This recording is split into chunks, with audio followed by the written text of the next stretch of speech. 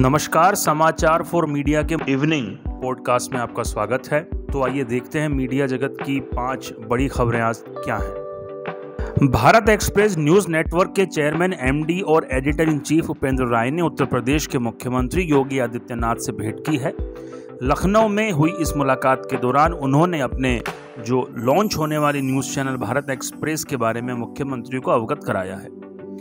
Video streaming और video on demand platform M X player की senior vice president Mansi Srivastava का निधन हो गया है। जी हाँ, उन्होंने 25 दिसंबर को आखिरी सांस ली। मीडिया रिपोर्ट्स के मुताबिक मानसी कैंसर से जूझ रही थी।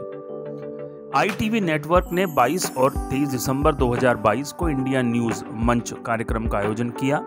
दो दिवसीय इस कार्यक्रम को दिल्ली के होटल ताज पैलेस में आयोजित किया गया, जहाँ केंद्रीय कैबिनेट मंत्रियों से लेकर राज्य के कैबिनेट मंत्रियों, संसद सदस्यों, मुख्यमंत्रियों, पार्टी अध्यक्षों, महासचिवों और अन्य देश की शीर्ष राजनीतिक हस्तियों ने हिस्सा लिया और काफ़ी सफल यह रहा।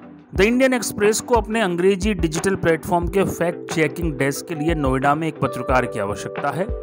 इच्छुक आवेदक को न्यूज़ ऑपरेशंस का विशेष विशेषकर ऑनलाइन न्यूज़ साइट में काम करने का सात आठ साल का अनुभव होना बेहद ज़रूरी है। अमर उजाला ग्रुप ने नजीब सिद्दीकी को sales head west and west of metros नियुक्त किया है। उनके पास सेल्स और मार्केटिंग का 22 साल से भी ज़्यादा का अनुभव है और गैर पारंपरिक राजस्व सृजन कॉन्सेप्ट सेलिंग में उनकी विशेषज्ञता है। तो ये थी आज की पाँच बड़ी खबरें।